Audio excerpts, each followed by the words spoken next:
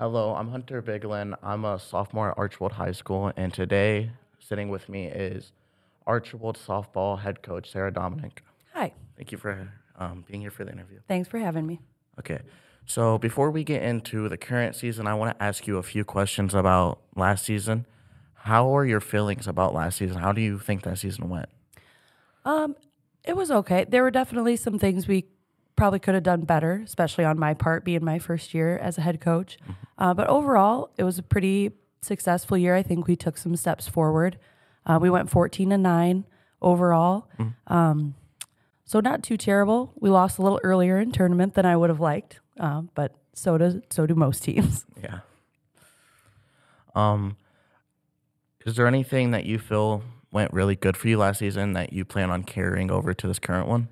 We partway through the season really changed our pregame warm up, kind of our approach to uh, our pregame warm up, and it's a lot more upbeat. Um, we kind of keep the girls moving constantly, and they weren't so sure about it at first because they didn't get to kind of sit around and chat.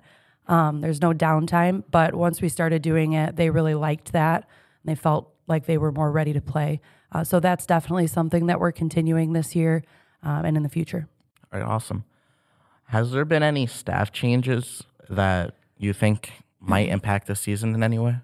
Um, the staff's the same, except we lost we lost one. We lost um, Coach Jessie Knopfsinger. Uh, she had her first baby, so she decided that she was going to take some time off. Uh, but other than that, everybody's back. So obviously we'll miss her. Um, but other than that, it's pretty consistent.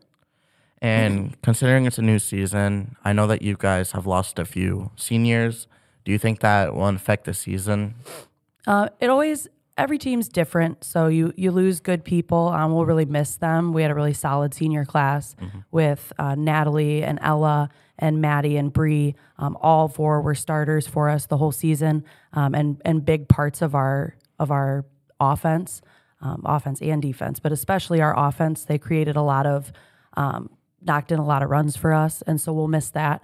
But I'm looking looking forward to see where our new girls kind of step into those roles, um, who's going to step up and and kind of replace those um, those seniors. All right. Um, like I just mentioned, I know you lost a couple seniors. Do you see any underclassmen coming up and possibly playing varsity? Yep, we've got some underclassmen that will get time on varsity. Um, McKenna Thiel and Addie Kinsman both got time last year, uh, so they'll see some more time this year. Uh, Charlie Forward, who's also a sophomore, she's been playing left for us so far.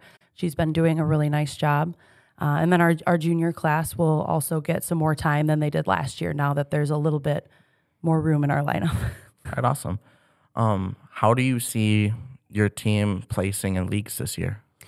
hopefully we'll be up there towards the top, um, competing with Bryan and Liberty Center and Swanton. Those three teams are are pretty solid and will be a good challenge for us.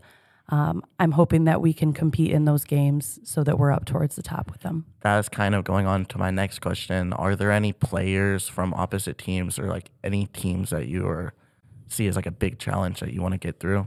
All three of those teams will be a challenge for us. Um, none are unbeatable, but they will all be a good challenge. Bryan has a, a very good dominant pitcher, along with a lot of returning starters from last year. Liberty Center has a huge senior class that has been successful in all of their sports. Um, they have quite a few that play softball and have been three or four year starters for them. Um, and then Swanton, again, has a very dominant pitcher who's had a lot of success. So uh, those three will be a big challenge for us um, in the league. It's always good to have a challenge. Um, okay, and for one of my last questions, I just want to ask, what is what are you looking forward to the most? What am I looking forward to? I am really excited to watch our girls kind of grow together and see some of those younger ones step into roles um, and become leaders on our team and really see what they're capable of because I know they're capable of a lot. Uh, they don't always see it until they do it. So I, I really enjoy those moments where they have success um, and they start to believe in themselves a little bit more. All right. Well, that's pretty much all I have. Thank you for coming and having this interview with me. I wish you and your team the best of luck this year. Awesome. Thank you, Hunter.